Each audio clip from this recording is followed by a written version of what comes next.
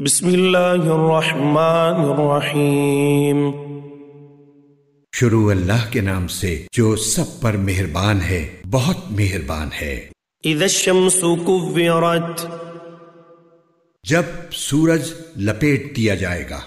व इदन नुजूमु कदरत। और जब सितारे टूट टूट कर गिरेंगे। व इदल जिबालु सुयरत।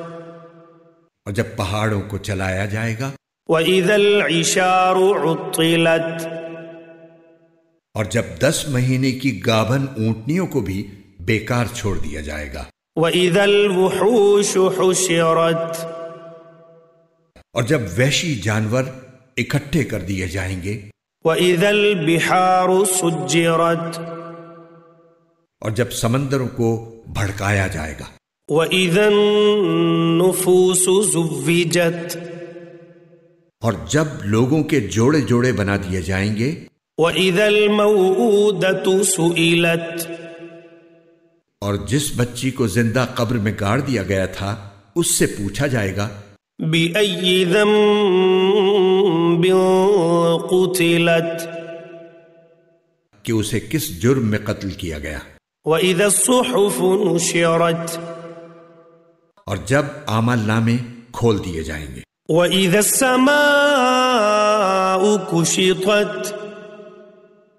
और जब आसमान का छिलका उतार दिया जाएगा।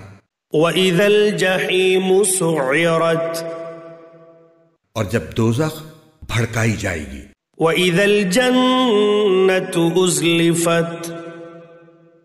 और जब जन्नत करीब कर दी जाएगी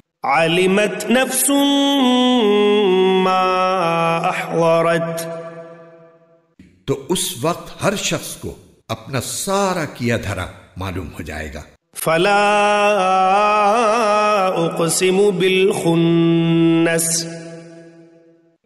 अब मैं कसम खाता हूं उन सितारों की जो पीछे की तरफ चलने लगते हैं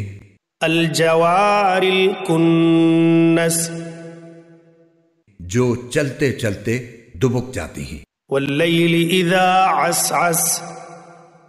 और कसम खाता हूँ रात की जब वो रुखसत हो। सुबह तनफस और सुबह की जब वो सांस ले। रसूल करीम। कि ये कुरान यकीनी तौर पर एक मुआज़ फरिश्ते का लाया हुआ कलाम है।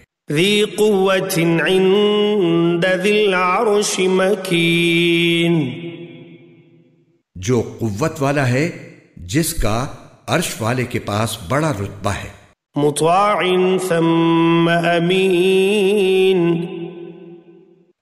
वहां उसकी बात मानी जाती है वो अमानतदार है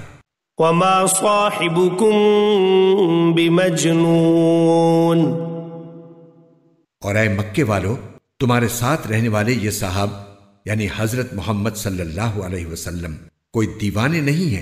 वलकद बिल और ये बिल्कुल सच्ची बात है कि उन्होंने इस फरिश्ते को खुले हुए उफुक पर देखा है। वमा हुआ और वो गैब की बातों के बारे में बकील भी नहीं है।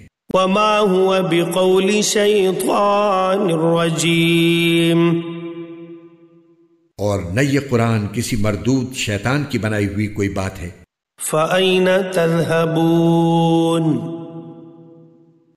फिर भी तुम लोग किधर चले जा रहे हो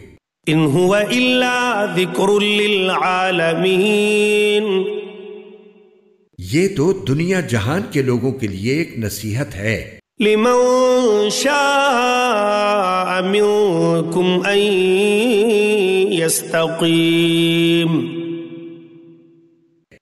तुम में से हर उस शख्स के लिए जो सीधा सीधा रहना चाहे